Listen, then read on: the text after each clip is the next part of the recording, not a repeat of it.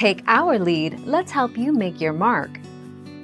Our goal is your satisfaction. Let us show you the way.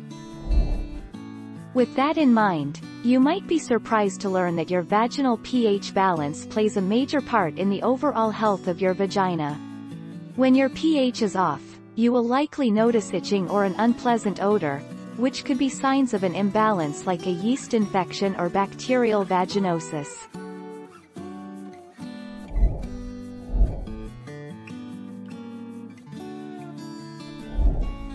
Take our lead. Fans of the stuff also say that regular drinking water with a pH below 7 creates too much acid in your blood and cells. They blame plain water's low pH for all sorts of health problems, from osteoporosis to cancer. Water that is more alkaline supposedly reduces acid in the bloodstream and improves metabolism.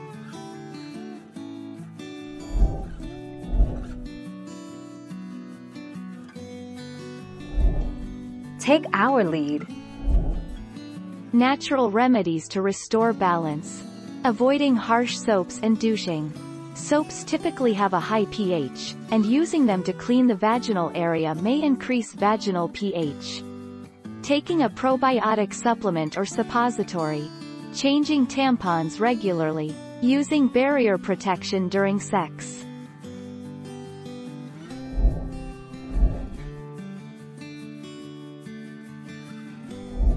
Make your mark, take our lead. Lactobacillus acidophilus is the most researched strain of probiotic when it comes to establishing and maintaining a healthy vaginal balance. Two other important strains include Lactobacillus rhamnosus and Lactobacillus reuteri.